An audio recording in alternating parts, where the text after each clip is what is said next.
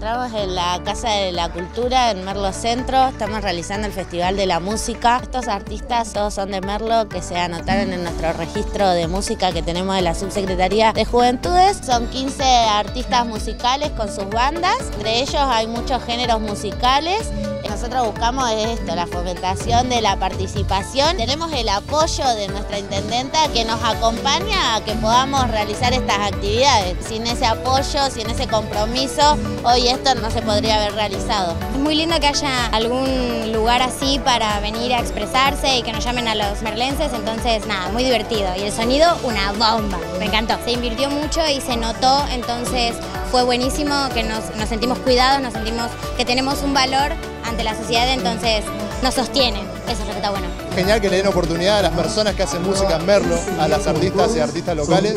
Me parece muy lindo. Se nota la preparación que hay de sonido, de luces. Y está bueno también recibir la devolución del público, ¿no? Los aplausos, que se enganchan con las cosas que cantábamos, es muy lindo. Está bueno que hagan eventos como estos, que se promueva el talento de música independiente y para ver que hay de todo talento en Merlo como en distintas zonas del conurbano. Se nota que le invirtieron en lo que es sonido, luces y eso está bueno porque le hace sentir importante para poder transmitir algo. Respaldo municipal, porque gestionar el arte a veces no es fácil, pero si tenemos ayuda, va para adelante.